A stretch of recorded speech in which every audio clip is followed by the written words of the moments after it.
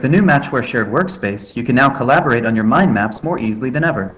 This is perfect for online brainstorming sessions, group work, and project management.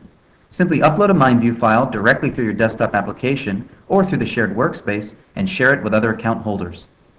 To upload a file, simply create a new folder in the My Documents section by selecting the New Folder icon.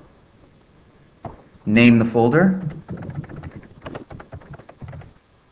hit Enter on your keyboard, and then select the Upload icon. Browse on your computer for the file you'd like to upload. Select your folder and choose Open, and then choose to upload that file. Your file is now uploaded to the shared workspace in the designated folder that you created. Once you've uploaded a MindView file to the Matchware shared workspace, document owners can invite other users to share a MindView file online. The document owner can also grant read or write access to the users they invite. To invite a user, simply select the file you'd like to share, select the drop-down icon, and choose Share Options. From the Share Options dialog, I would then add users. I'm able to add users from within my organization or invite external users by entering their email address. Users within my organization, I simply check the boxes of the users I'd like to invite, grant them read or write access, and choose Add. Once the users have been added, I select Close, choose Save. Those users will now receive an email with information to link and open this file through the Matchware shared workspace. If I'd like to review who I've shared the MindView file with, I simply select the drop-down icon next to Share, and I'll see a preview of the users that I've invited to share this file. If I need to edit those users' access, I simply select Edit Users, select the user that I'd like to edit, and change the access by selecting the radio button and choosing Save.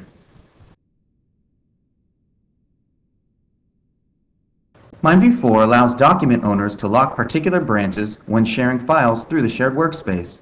The ability to lock certain users out of specific branches gives the owner the power to control the flow of work, the allocation of tasks, and adds a safeguard to ensure that the file is accessed, updated, and collaborated on by the rightful users. To initiate branch locking, you must first either save a file online to the shared workspace, or open an existing file that has already been saved on the shared workspace. For branch locking to function correctly, you must first choose to share the MindView file with a particular user from the shared workspace. To complete the branch locking, simply select the branch that you'd like to lock, choose Manage Locks, select Add, and from the user list, select the individual user or users by holding down Shift, select OK, and choose to create the permissions, either read-only or write access. For this example, Andrew will have read-only access to that branch. When I select OK, the branch has now been locked, giving Andrew read-only access to that branch. If I'd like to remove any locks or edit the locks, I can simply either select Manage Locks to change permission or lock the branch from other users, or choose to remove all locks, allowing both read and write access to the branch by any user. MindView 4 allows you to automatically distribute tasks to resources through the shared workspace, simply by specifying the resource's email address. Easily track task status by synchronizing your shared workspace task list with your MindView file. In order to distribute tasks, first select the task, assign a resource,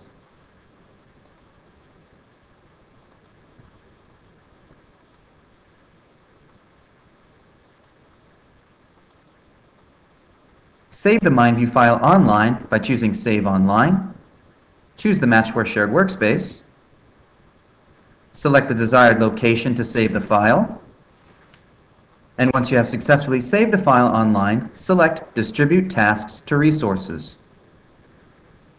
When I distribute tasks to resources, I can choose to include summary tasks, include completed tasks, and also specify the properties that I'd like to distribute start time, end time, completion, priority, and duration.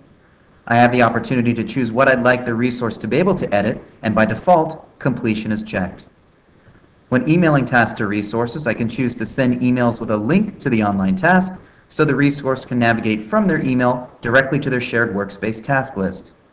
I can also only choose to send emails about new tasks and resources so that I do not double send tasks to specific resources. I also have the opportunity to view outgoing emails before I send them if I'd like to make any edits. I'm going to leave these settings as default and choose OK. From within the shared workspace, under the Tasks tab, I now see the tasks that have been assigned to me. Setup Team and Setup Budget are the corresponding tasks that were assigned from within the MindView file. You see the properties that we decided to include, start date, end date, duration, and priority, and the one property that we choose to allow them to edit, completion. I have the ability to update my completion status, or choose if a task is done, and select Save. Once I've chosen to save the updated status, I can choose to import tasks from resources and synchronize my shared workspace task list with my MindView file.